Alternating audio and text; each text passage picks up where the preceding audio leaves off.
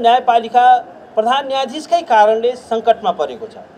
न्यायपालिकामा हिजो समस्या थियो तर आज न्यायपालिकामा सङ्कट आएको छ।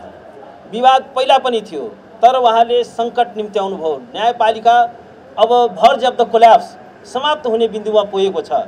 आज प्रधान न्यायाधीशजीले के भन्नुहुन्छ भने मलाई संवैधानिक प्रक्रियाद्वारा हटाऊ।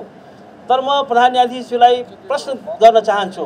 उहाँले संविधानले तोकेको आफ्नो न्यूनतम भूमिका के निर्वाह गर्न सक्नु भएको छ? के आज उहाँले आफ्नो न्यायपालिकालाई नेतृत्व प्रदान गर्न सक्नु भएको छ? आज उहाँको नेतृत्व पूर्ण रूपमा असफल भइसकेको छ। आज उहाँकै कारणले इजलास बस्न सकेको छैन। आज न्याय न्यायिक प्रक्रिया नै अवरुद्ध भएको छ। यसको सबैभन्दा ठुलो कारण उहाँ आफै हुनुहुन्छ। प्रधान न्यायाधीशका कारणले गर्दाखेरि आज यो न्यायपालिकालाई सबैभन्दा ठुलो खतरा बाहिरबाट छैन। अरू कहीँ कतैबाट छैन। आज न्यायपालिकालाई सबैभन्दा ठुलो खतरा प्रधान न्यायाधीशकै आचरणले गर्दा भएको छ। प्रधान न्यायाधीशकै कारणले भएको छ।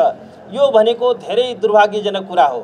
कानुन व्यवसायहरू आन्दोलनमा आउनु उहाँका सहकर्मी न्यायाधीशहरू आन्दोलनमा आउनु बन्च बहिष्कार गर्नु इजलास बस्न नसक्नु यो न्यायपालिकाको लागि एउटा दुर्भाग्यको क्षण हो।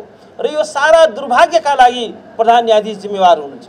उहाँकै कारणले आज यो न्यायपालिका असम्मानित भएको छ। उहाँलाई संविधानले सम्मानिने भनेको छ।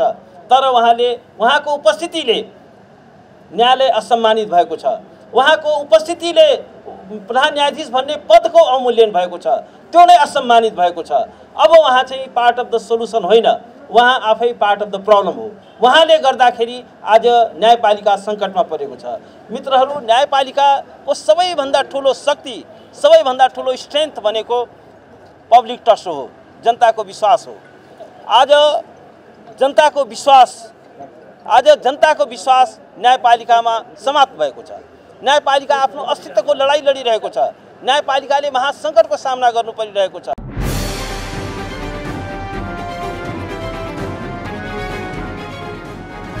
तपाईँको सूचनाको साथी दैनिकी डट कम।